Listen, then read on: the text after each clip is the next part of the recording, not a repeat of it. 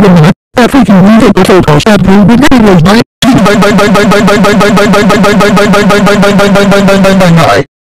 what is happening to the show today? I can't believe myself having had as bad as that. I can't do it. Why is life a piece of paper and wood now and playing wooden pizza? This is why life is always as useless. I can't believe it happened.